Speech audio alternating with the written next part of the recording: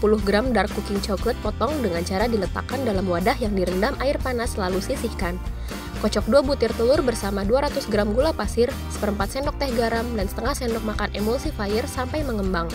Masukkan 250 gram tepung terigu protein sedang, 25 gram coklat bubuk, dan setengah sendok teh baking powder bergantian dengan 225 ml air soda tawar sambil dikocok perlahan.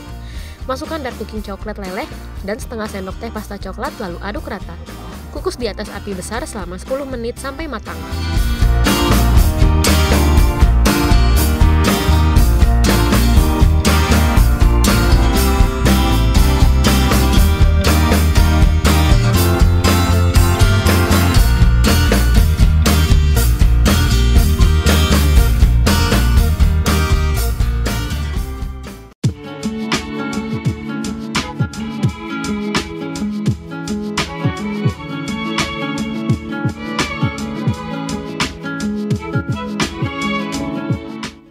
Pertama-tama, rebus bahan satu yang terdiri dari 60 gram tepung beras, 350 ml santan dari setengah butir kelapa, satu lembar pandan, dan satu sendok teh garam sambil diaduk sampai mengental.